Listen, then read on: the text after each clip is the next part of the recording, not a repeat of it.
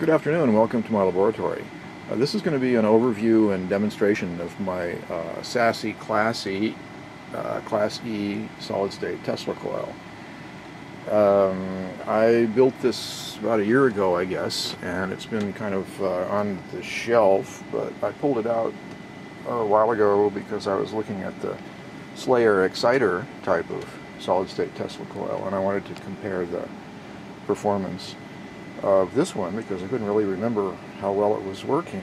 So um, here's the resonator. This is a piece of PVC pipe. I used black pipe. I probably should have used white pipe. I think the black pipe might be conductive. This white part here is just a little plastic uh, insulator. It's one of those uh, uh, chopping sheets or cutting sheets that you get in the kitchen supply store and there's 420 turns of number 27 magnet wire on that sprayed with Krylon insulation or Krylon uh, clear Krylon to coat it and insulate it a little bit. Then there's five turns of uh, number 12 house wiring uh, and offset by a quarter inch all the way around using these little plastic uh, spacers. The height I found out is pretty critical um, and then underneath there you can just barely see the single turn uh, feedback coil which triggers the system and makes it self-oscillate. That green wire there is the bottom end of the winding on the secondary. It's connected only to this pole which then goes to my outside earth ground which is also necessary for this system to operate. And then the primary and the sense coil both go into the driver board. So uh, I took the basic circuit and added a, an inline ammeter so I could monitor the input current. And I've found that if I go over about uh, five and a half amps, I'm starting to put the MOSFET in danger. And then at around seven amps, the thing is just uh, too outrageous. So I've generally fuse it uh, at 7 amps, but right now I've blown all my 7.5 amp fuses, so I have a 5 amp fuse in there. And I have the power supply down there set to produce uh, 50 volts, and then I have the current limiting function set to limit the current at uh, 5 amps so that I don't blow fuses or MOSFETs. Um, there's where the DC power input comes in. This is the bias control, which controls the voltage that the MOSFET sees coming from the sense coil. And let's see, let me pull the case up here. This is a little bit of circuitry uh, using an op amp and an LED that monitors the temperature of the heatsink through a little thermistor that I have glued to the heatsink right there.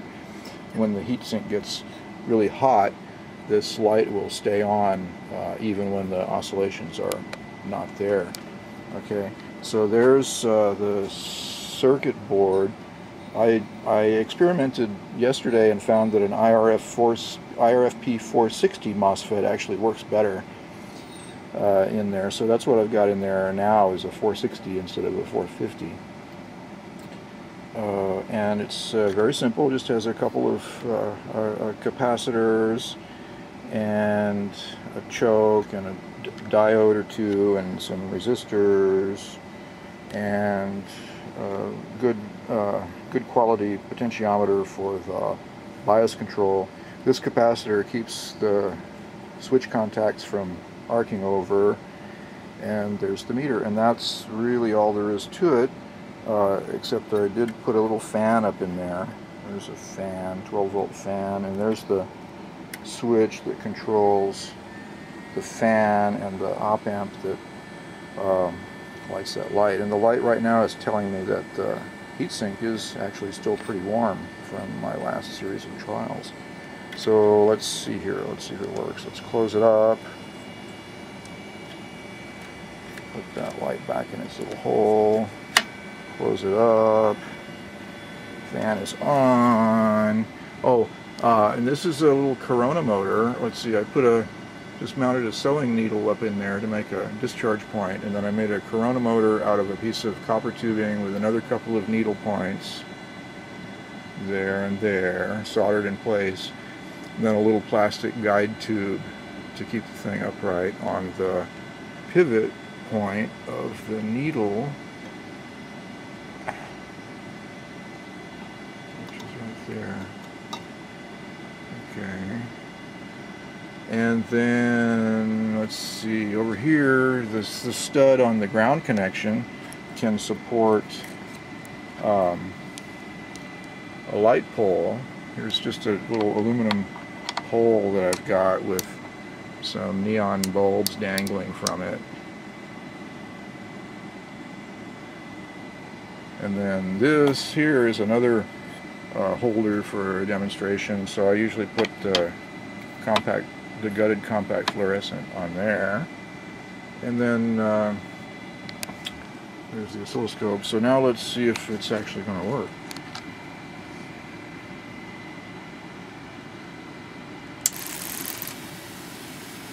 Oh yeah. Oh, I guess I'll leave the overhead on. Okay, so we're pulling just under 5 amps, and I may be able to peak that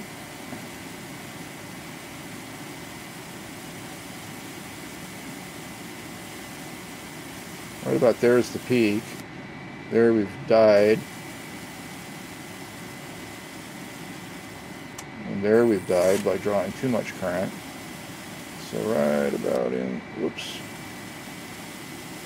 right about there is where we're peaking the current input. And as you can see, we have a brilliant light from the compact fluorescent and lots of light from the little neons And the Corona motor, that's pretty neat. Getting a little frame rate aliasing there.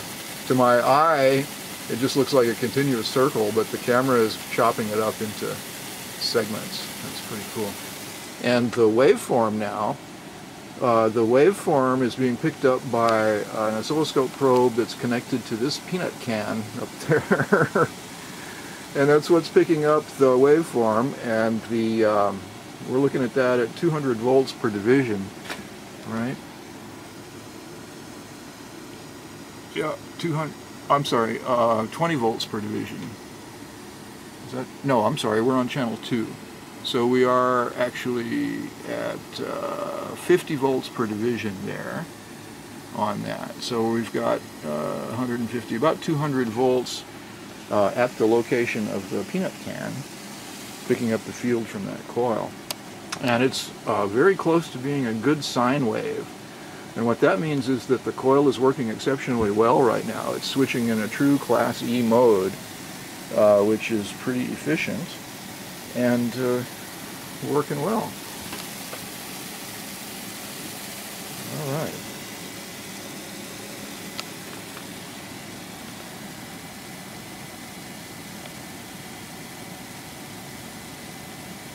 Too bad it's uh, not particularly efficient. We're running at about 250 watts right now. All right.